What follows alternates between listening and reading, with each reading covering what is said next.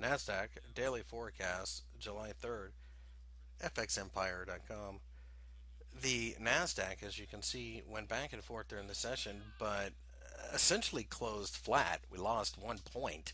Um, that being the case, it's difficult to glean a whole lot of information from this chart just simply because the next couple of days or couple hours on uh, Wednesday and closed on Thursday due to the American Independence holiday. Friday is non farm payroll Friday. So, what's going to happen is the market's going to sit still until then. And then when that number comes, it'll get whipped around quite wildly. We think it's a very jittery trading session on Friday waiting to happen, and we suggest staying out of the market until Monday simply because of the massive amounts of liquidity on Wednesday. Obviously, you can't be in the market on Thursday, and then Friday is going to be nothing short of gambling based upon what the market reacts to.